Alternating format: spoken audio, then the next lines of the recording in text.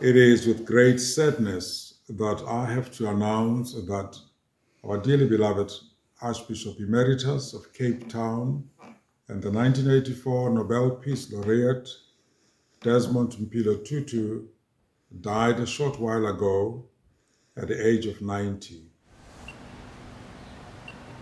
From my family, we going to the same church that uh, he used to go to. So it's a very, very sad uh, thing and it's very sad news for all of us and for the South Africa as a whole. Where are we going? Because he was one of those people that held us together, that gave us a sense of humanity. So obviously there's a sense of sadness as well, but more questions. Um, also happy for him because he's um, hopefully in a place of peace now.